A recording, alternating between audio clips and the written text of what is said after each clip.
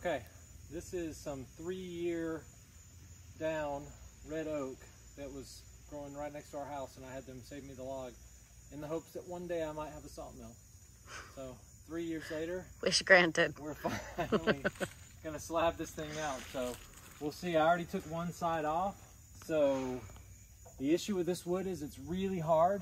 So it's routing my blade. It's wanting to bow the blade a little bit. So I may not get a perfectly flat cut, but we're gonna see what we get.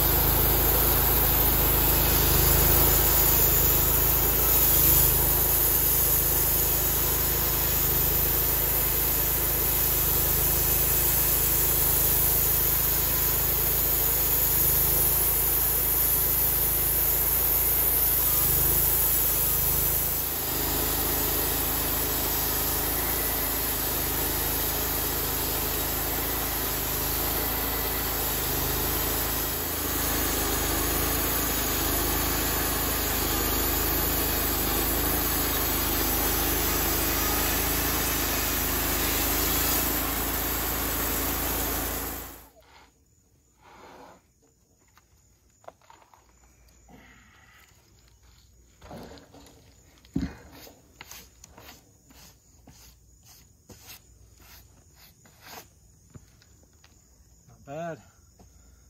Definitely some good wood still in there three years later.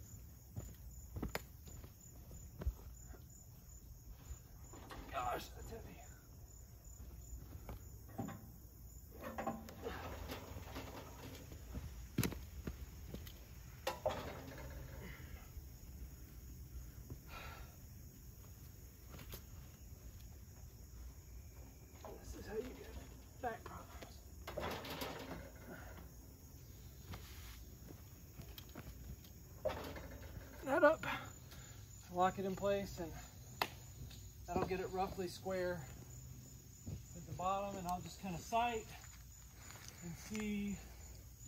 We're actually at a pretty good height right now. Man, although no, the back end's a lot higher. There's a lot more wood on the back side. So I'm actually gonna raise this up.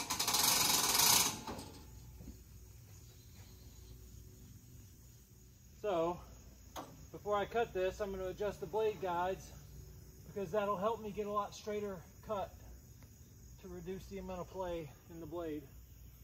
So we'll tighten that down a little closer in. Turn my lubricant back on. Sponsored by Dawn Dish Soap.